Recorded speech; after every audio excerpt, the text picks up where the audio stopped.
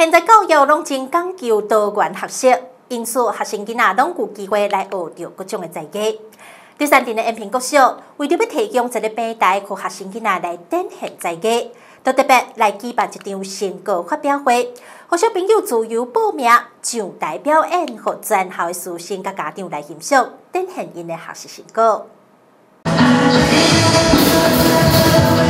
台顶对着专校的同学拍着爵士鼓，表演着相声，唱着歌曲，等等各行的演出，来展现家己平常时学习在的成果。表演是相声，然后是新唐诗的题目，这样练习的时候就很辛苦，然后很多话我们都要去了解它的意思，然后我们的那个表情要很丰富，这样。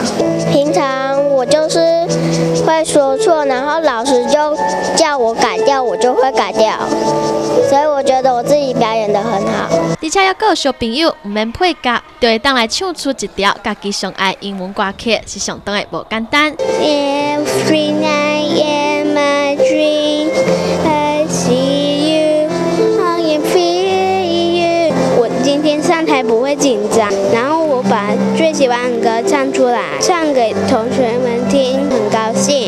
孩子一个舞台，让他们展现出他们自己个人的亮点。尤其是刚刚这一位起战小朋友，他平常在呃课堂上或者是学校学业表现的不是说非常的顶尖，但是他可以透过这个舞台，然后把自己的优势，他会唱英语歌这个优点唱出来给大家听。那也可以给他一点自信，让他勇敢去展现自己。这嘛是第三点，延平国小为了提供学生有一个表演才艺平台，并伫学期要结束之前开办了成果发表会，让小朋友自由报名来到台顶表演，和全校的师生以及家长来欣赏，展现家己的才艺。学校办理学生的年度才艺发表会，将近十年的一个历史了哈。目的最主要是要给学生有一个上台的一个机会，能够把他自己平常所所学的东西，在同学的面前，在全校的面前，把它展现出来。不管他几秒钟、几分钟，我们都肯定他们的